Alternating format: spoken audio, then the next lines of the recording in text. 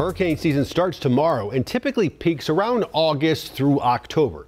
Before the season officially begins, we're getting a first-hand look into the power of one of these storms. Chris, turning the winds up to a low-end Category 4 in this week's Weather IQ. We're here at the Aerodyn Wind Tunnel, and what are we going to do? We're going to demonstrate the power of a hurricane's winds. We're going to go from tropical storm one, two, three, and then max it out at a low end four at 130 miles per hour.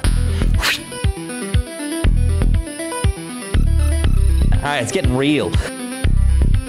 All right, let's experience a hurricane. This is the Aerodyn Wind Tunnel, 250 feet long, 2,500 horsepower. The main thing about this simulator, you don't have the rain, you don't have the debris. This is just showing the pure power of the winds.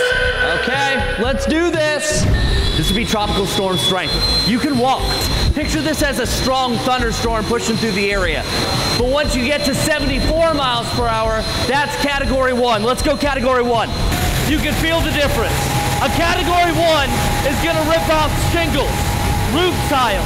Let's go category two. A category two hurricane is wind at 96 to 110 miles per hour.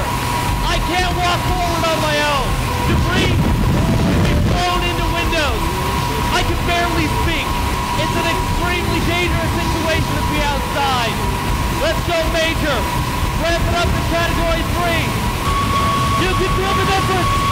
You can feel the difference. Roofs can be blown off. Let's go to the map. This would be category four. Both Category 4 and 5 hurricanes produce catastrophic damage and can leave areas uninhabitable for weeks, even months. The power of wind increases exponentially. Just look what it does to my face as we increase to major hurricane status. Cute, right? Something I truly never want to experience in real life, but thanks to Aerodyn for showing us the force of a hurricane. I'm meteorologist Chris Mulcahy with Charlotte. Wow.